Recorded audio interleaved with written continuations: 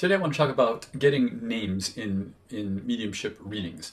Uh, names are not necessary, but they are meaningful to some clients, especially the kind of clients who want um, facts and figures like dates and names and how they passed and things like that. Um, but for other clients, um, what's more meaningful is um, personality traits, quirky personality traits, things privately said, uh, I kind of swing both ways on that because I do like the facts and figures, but I'm also aware of how those can be Googled. And so when someone, you know, is reading me, they connect with my mom and they tell me things that she said only to me, private things that she only said to me in private, that's also very meaningful. So uh, I, sort of the overall point of this video is that people make, especially mediums, make way too big a deal about names. Um, and so what I do, because you have those two different kinds of clients, those are two very broad categories of want facts and figures or want more personalized information, um, personality type information or memories, shared memories. Uh, I try to remember uh, every time I sit for a client to go in with the mindset of what does the client need to hear. And that helps sort of go in the direction that they want or need. Um, I think that making such a big deal out of names actually makes it harder uh, and making a big deal can be negative or positive because even when you say, oh, wow, you got their name, that's great, that's making a big deal. And that makes it sound like it's hard, uh, like it's a challenging thing or a rare thing.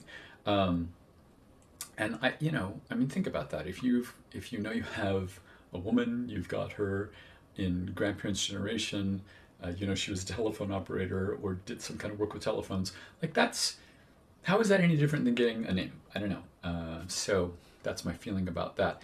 Um, some, so I get names a lot. That's why I decided to do this video.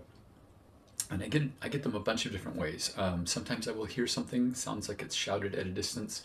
Uh, often I'll see multiple people in my head, like all the Debbies or Deborahs I've ever known will suddenly be in my mind. Um, uh, lately, I've been seeing someone in the room with me and in my mind's eye, and it's, it's often a famous person, and their name is the name of the person I'm connected to or someone really closely connected to uh, the person in spirit. So, however you, um, I'm in some development circles where newish mediums, I sit for them. Um, and we read each other, but mostly I'm there to sit for them.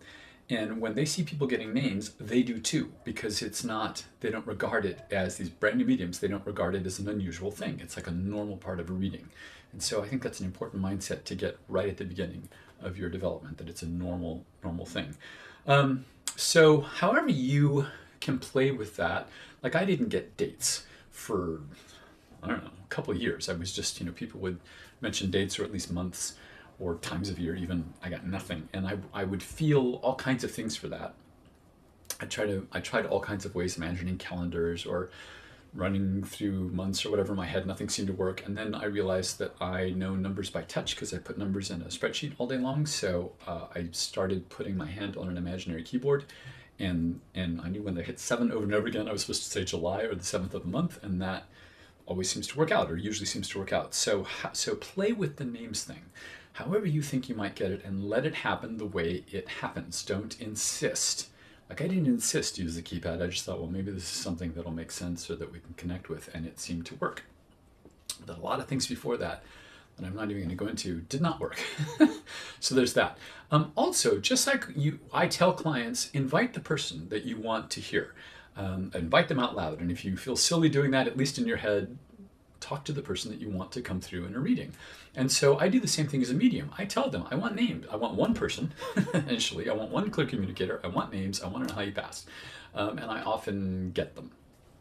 But that's sort of an intent that I set up uh, when doing my readings. So um, Another way I get them, and, and this is what I want to say, is I don't insist on any particular way. It's just how I get a lot of information. So one way I get names, but I also get other information is I'll see two unrelated things and the thing they have in common is what I'm supposed to say. So uh, I was reading this woman once, I could see the top of a Sara Lee's cheesecake in my mind's eye, and right next to that was a picture of my father in the military. My father's name was Lee, so uh, my father Lee and Sara Lee cheesecake, Lee was the common name, and it turned out that Lee was the uh, son of the person that I, living son that, of the person that I was connected to. Um, I, I once uh, had just seen a trailer for a movie that was making references to the to the drug Molly, um, and and I was also saying Molly Shannon. So I said, uh, Molly is the name connected with this person. It was I knew it was a grandmother that I had, and her granddaughter, who was my client, laughed. She said that's her dog's name. That was her dog's name. Uh, so they would be together now.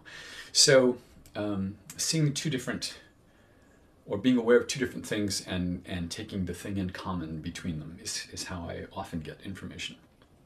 Um, but I play with it, and I recommend you play with it. Don't insist. That's never worked for me. Insisting on things has never worked for me. Uh, I don't know that it's worked for anyone really well. Maybe, I mean, I'm open to being wrong about that for sure. So, uh, and don't try to do it like you've seen other people do it. Any aspect of mediumship, you have to do it your way. So if if like I have a, an acquaintance who hears things a lot, um, way better than I do, and and among the things she hears are names, for example, and I'm just not. I haven't been that good at that. I shouldn't say that. That I haven't. Uh, that's not one of my strong points. I shouldn't even say that because, well, that's the topic of my next video. So play with names. They're absolutely possible. Don't make a big deal out of it that's what I have to say on that subject. Next week, I'm going to talk about excuses, things mediums should not say, like, I'm not very good at hearing things, I just did it. It's very easy to fall into that trap. Um, when you say things like, oh, I'm not good at getting names, or I'm not good at clairaudience, that helps make that true, so stop saying that. That's next week's video. Um, thank you for watching this time. Leave your questions or comments below, and uh, see you next time.